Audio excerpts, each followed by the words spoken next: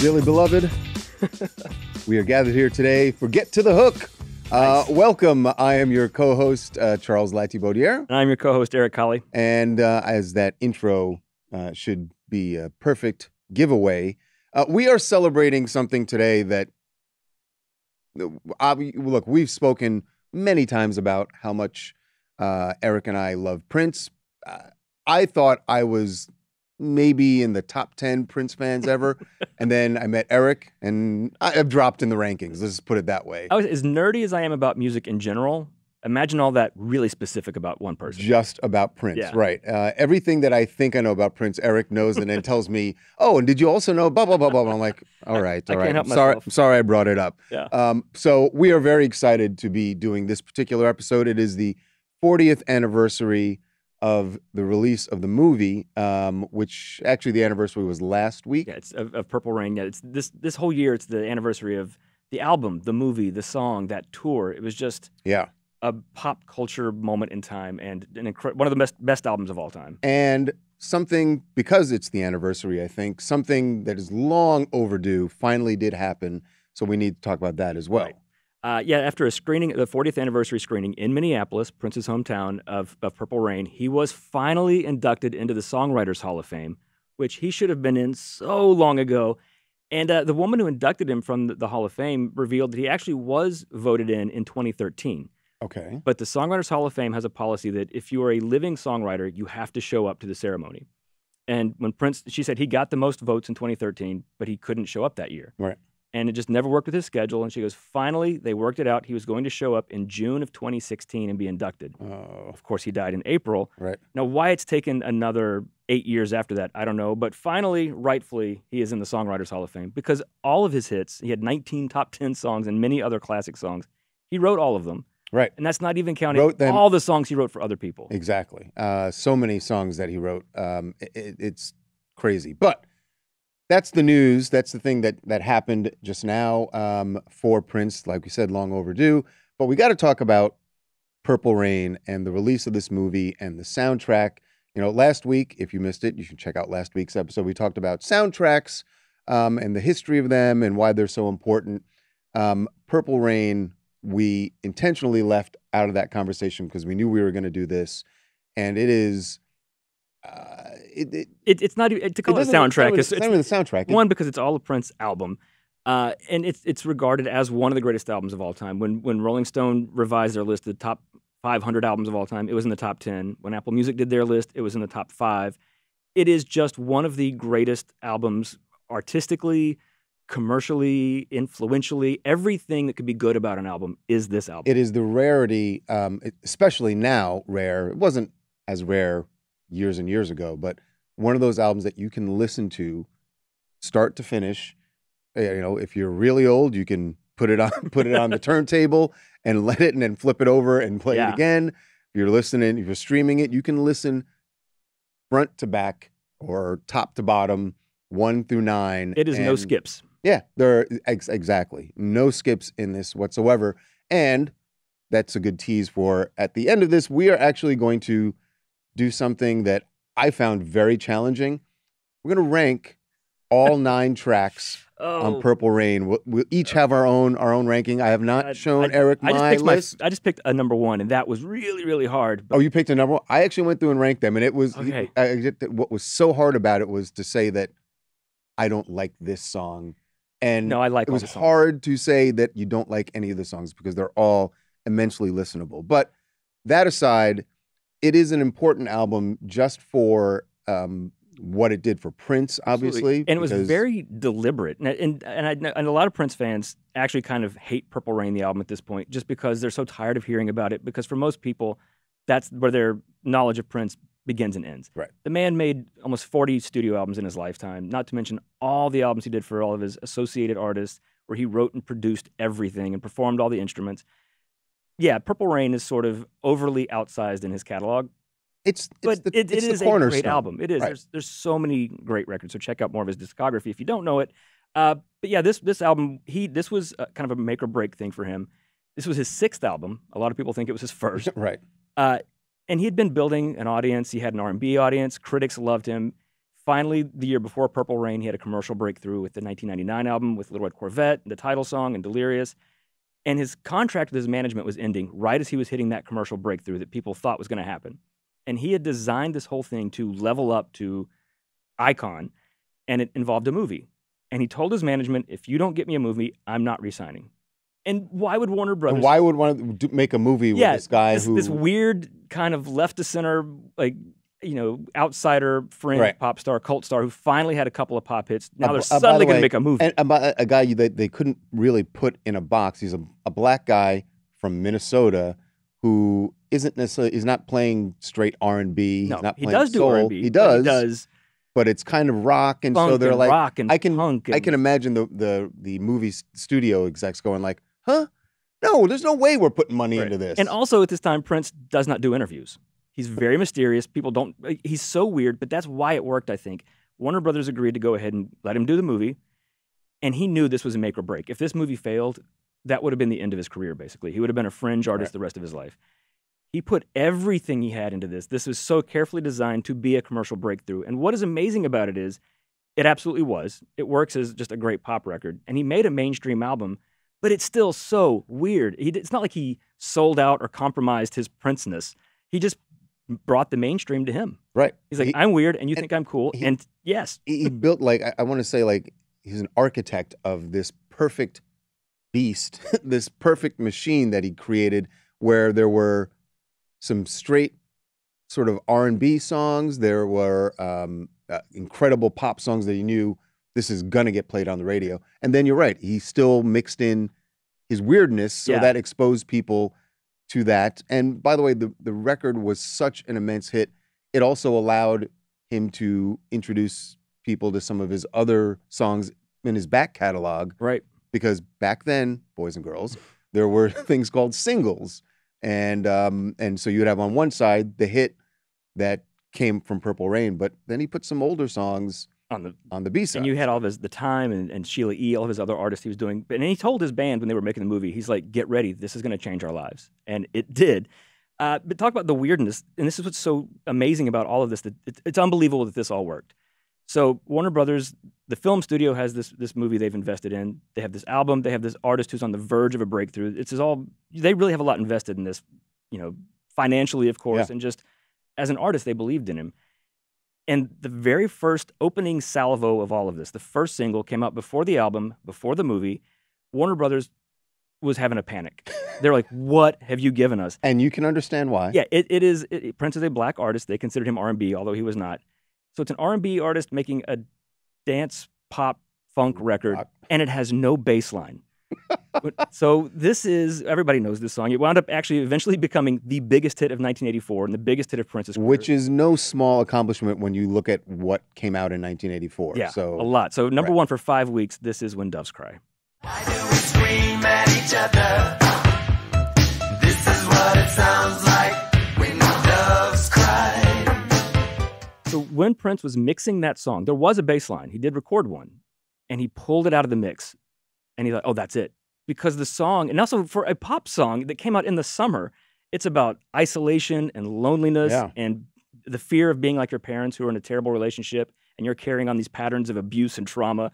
Not what you talk about in a pop song usually. no, definitely not. And he thought by taking the bass out, it made the song very cold and very stark because you just have his lyrics about this isolation butted right up against the keyboard and this thundering drum beat. And it just sounded like, and it does sound stark and cold. It does, and and and it is a very. It was such a unique sound that uh, honestly, it was probably a couple of years after it came out that someone said to me, "You know, there's no bass line in it." Right. Like I never even it didn't Don't even occur to me.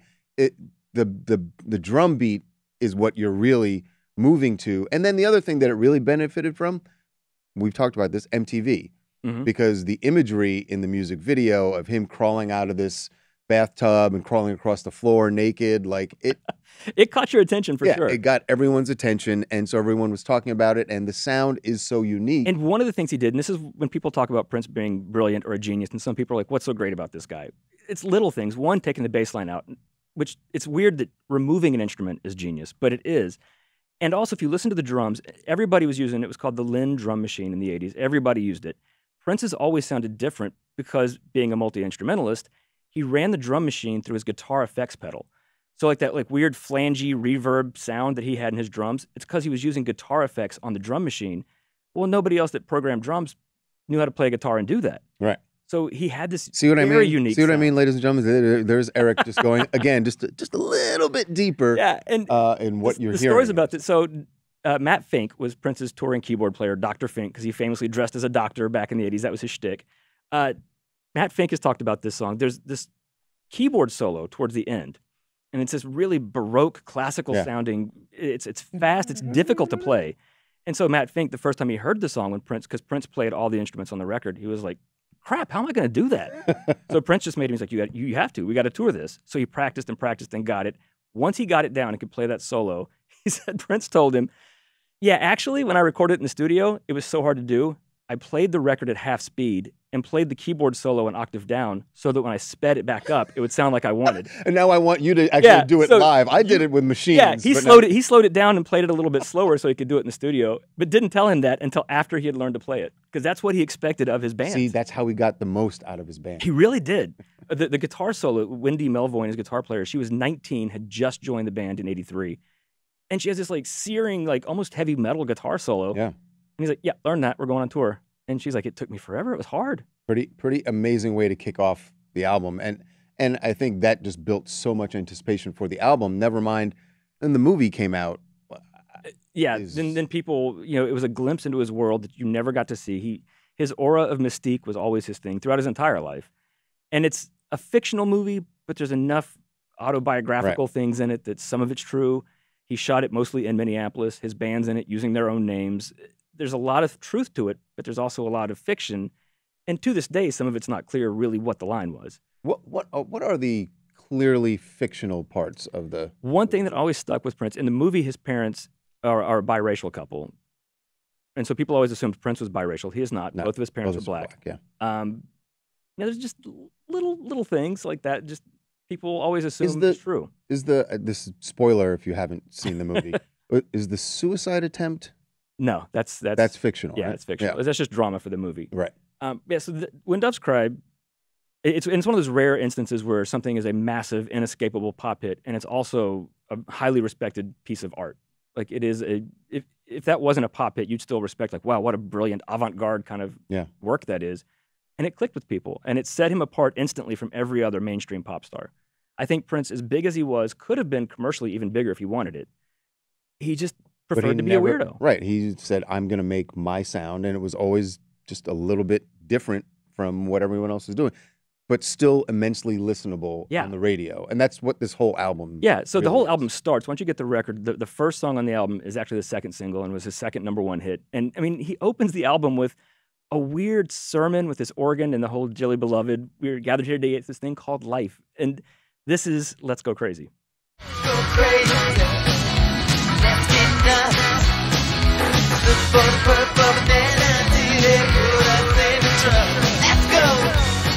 So here's something that Swifties can relate to.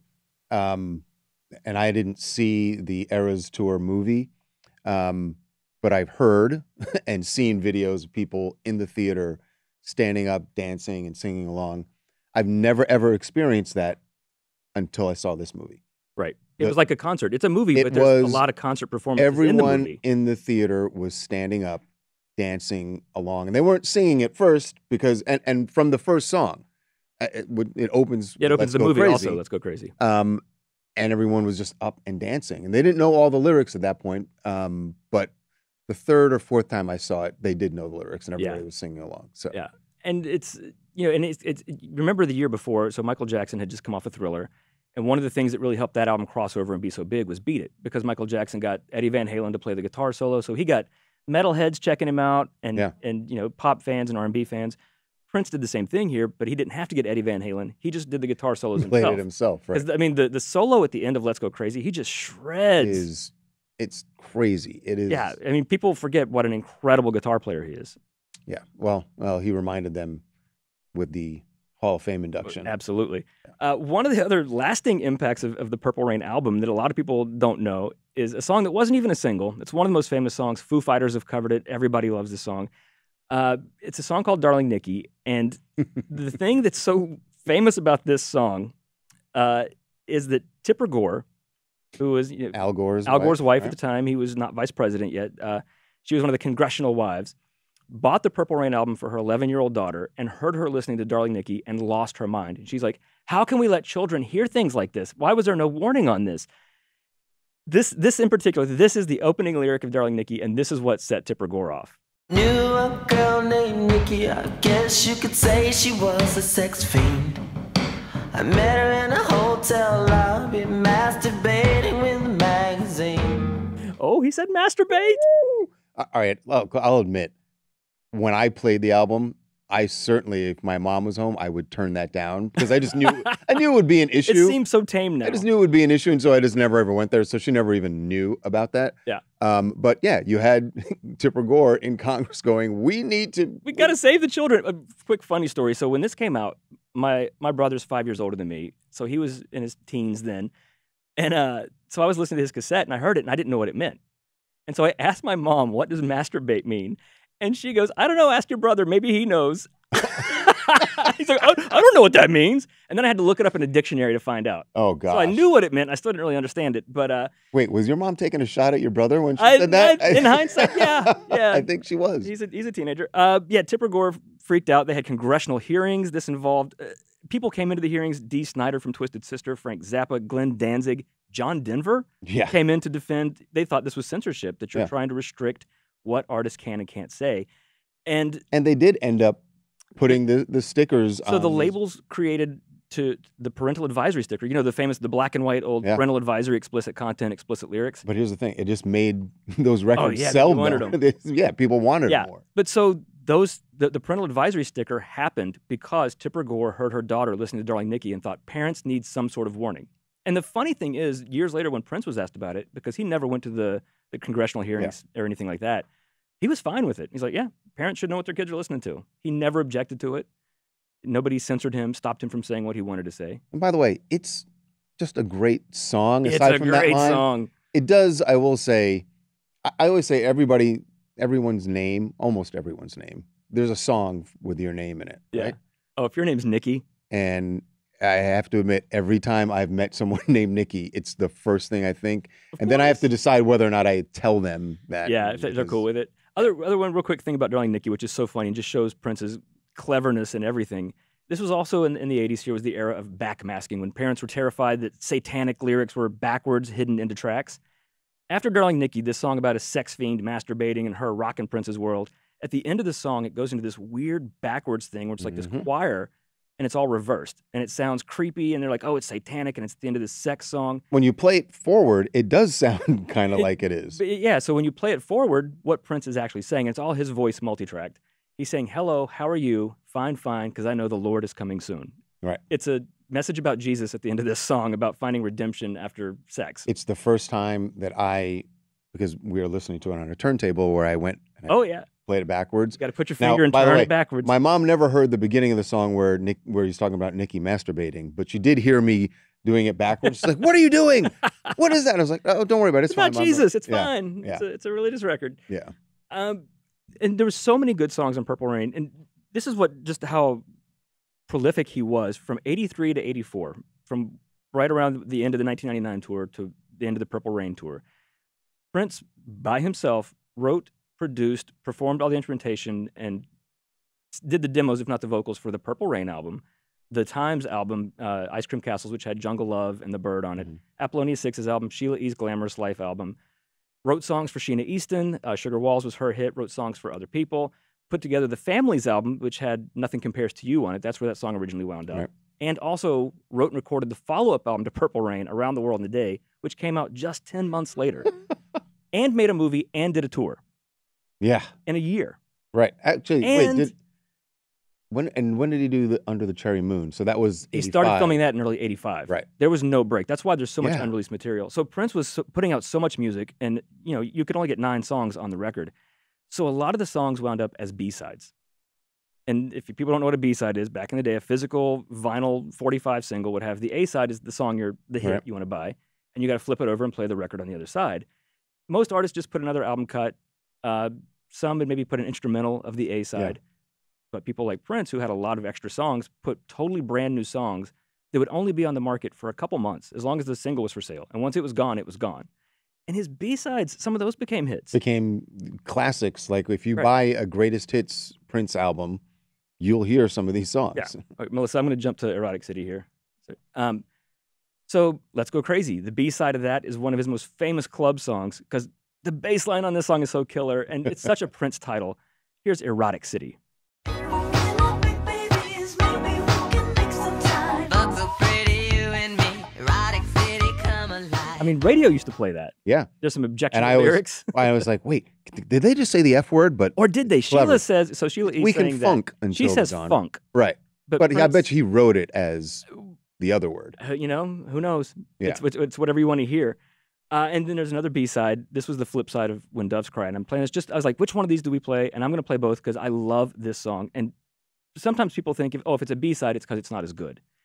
It- no, it's just because it didn't fit in the movie, didn't fit on the album. When Prince was making the Apollonia 6 album that had Sex Shooter on it, the best songs for that album, he didn't give them.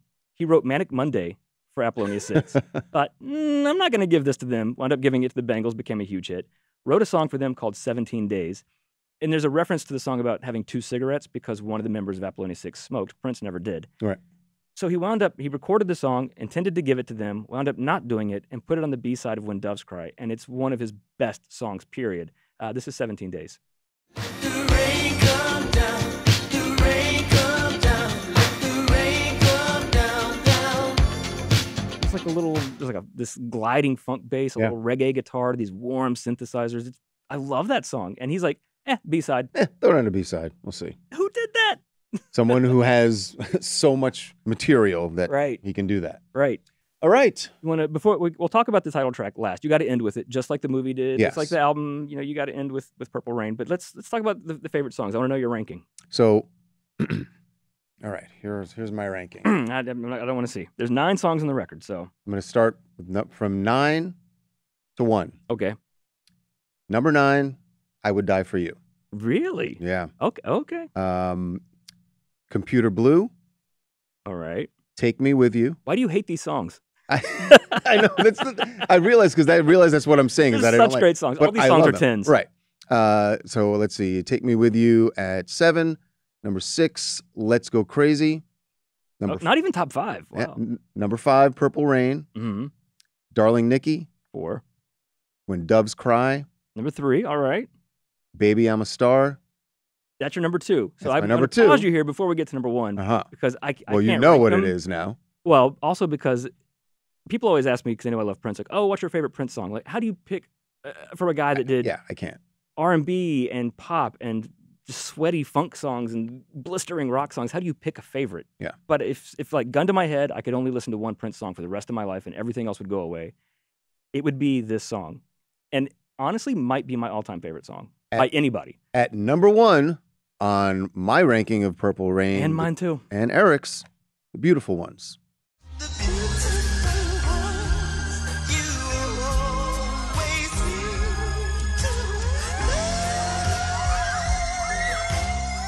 I It- cannot listen to that song without getting chills. Every forty years later, I, c- I- no matter how many times I've heard it. The the vocals are. I mean, we just played that note, which is incredible. but there tell are you. other vocals in the whole song that. That's not a song you're ever going to hear someone sing in karaoke No, because you, you can't. Mariah Carey did a cover of it with Sisqó, and I mean she's Mariah Carey; she can sing, but Yeah. nothing can touch. I mean, I'll try and keep this brief, but that song to me, it's it's an experience. It's not even a song. If you listen to it start to finish, and it's one of these songs, and it's not even because I have like a personal attachment, like it wasn't like a relationship or reminds me of something. But honestly, I will tear up listening to this song sometimes just because it's so.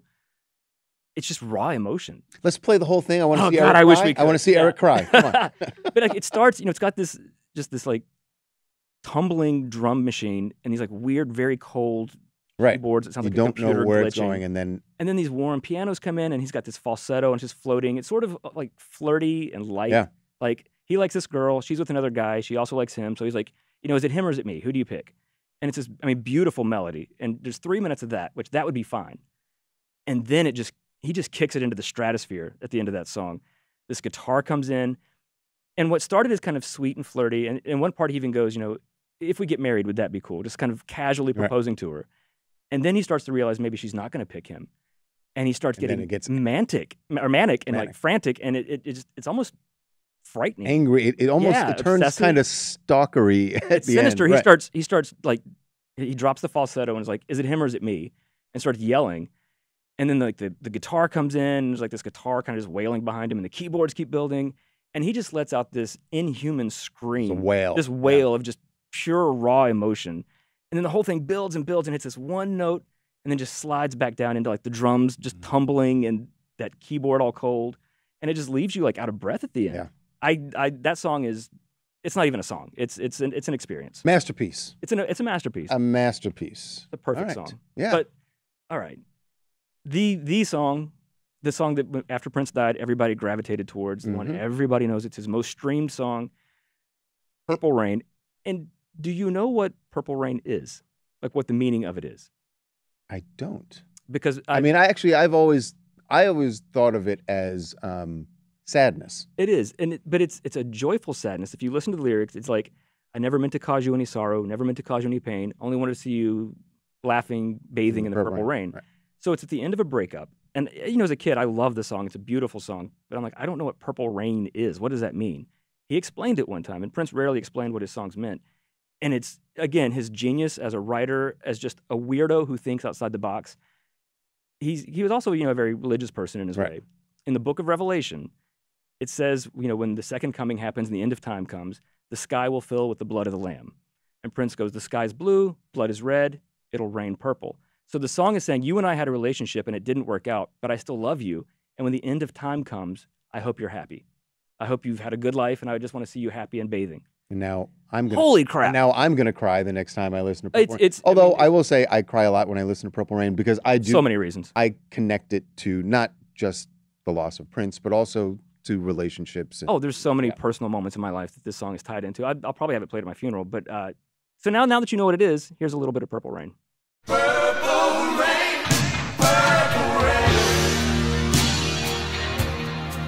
Tell my wife, I'm like, yeah, my funeral, either Purple Rain or Erotic City. I don't, eh, you know, maybe both. maybe both. I Maybe might, I might have to edit my own medleys before I go. Just I don't, I don't want to do too much more funeral planning here. Um, so Whatever. we should wrap it up. I, I, I just got to, I mean, I know obviously we've talked about it for both of it. It was a life, literally a life changing moment to listen to this album, to own the album, to watch the movie multiple times. It's probably the first time I went to to a theater to see a movie more than once. It's the first time I saw boobs in a movie. And And you never there were the forget boobs. that. By the way, I will. I got to shout out. I'm glad you brought that up. That's why "Take Me with You" um, got number seven on my list. Because that's the scene where Apollonia that's the jumps scene where in Lake Minnetonka, or not Lake Minnetonka. Not uh, Lake Minnetonka, yeah. exactly. Um, yes, we can always shout out to uh, Apollonia. Yeah, uh, yeah, one of the, one of the greatest albums of all time. I think it always will be. I think people for generations will discover this album, and there's As so many layers should. to it, so much to check out, and just discover with it. Yeah, it has become such an iconic thing in pop culture, and we can't forget. Maybe the thing that made Purple Rain even more legendary was that Super Bowl performance. Right. Like, how? What could you have more perfect? He's playing Purple Rain, the song that everybody wants to hear. The sky opens up, and it's just and the rain is coming down, and the lights are making it purple. It's Prince at the Super Bowl. That's why I, I say it's the best halftime show, not just because I love Prince. I think it's the circumstances of that. theatrically it became. Nobody else can compete with that. That was nature putting on the show. I mean, you can't compete. with There you go. Nature, God, everyone loves Prince. you should too. That's our message. Uh, and that's Right. it for this week. We'll see you next week on Get to the Hook.